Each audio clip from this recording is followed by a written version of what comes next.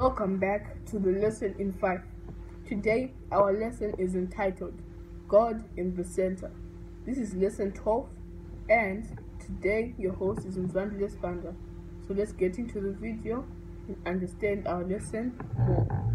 Our power text is Psalms 25, verse 4 to 5, and it reads Show me your ways, Lord, teach me your paths Guide me in your truth and teach me, for you are God, my Savior, and my hope is in all in you all day long.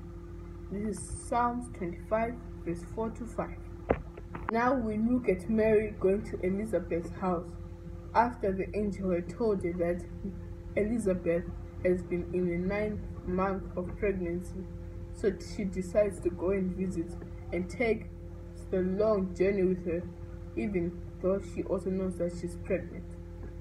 So she begins to go and go, so she hears the whole story of how it happens because Elizabeth had been buried for a long time and it was actually been a miracle that she had managed to get a child.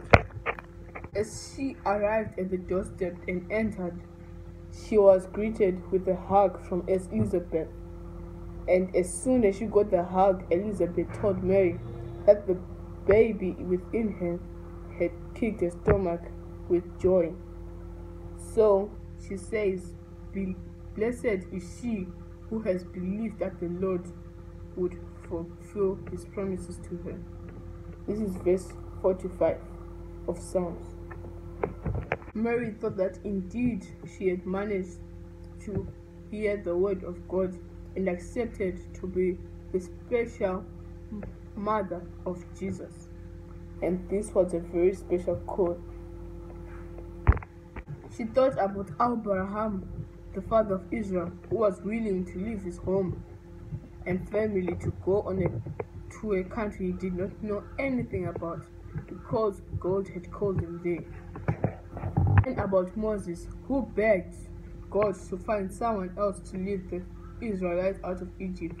Yet no leader had been able to help, but then he had been empowered by God and made him proud. And it was Moses who managed to take the Israelites out of Egypt. Only worshipped the idols of Canaanites. Instead, God had finally given them over to the Babylonians. But their great city, Jerusalem, had been burnt along with the temple. Thousands had been killed, and the rest had to be taken as prisoners to Babylon. Mary continued speaking to Elizabeth and said these words He has performed mighty deeds with his arm. He has scattered those who are proud in their inmost thoughts.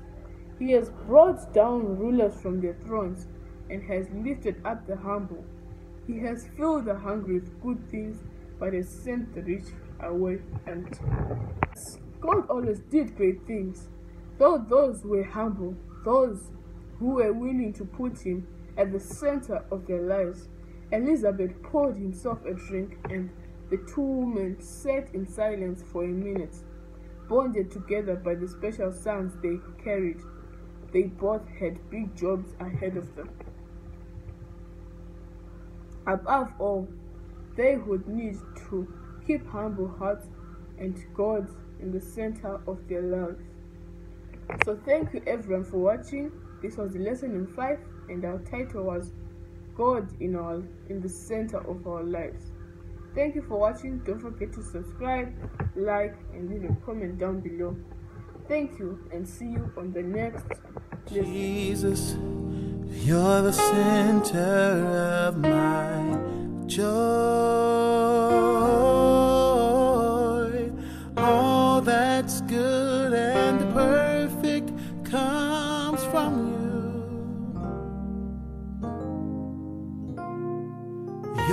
The heart of my contentment, hope for all I do.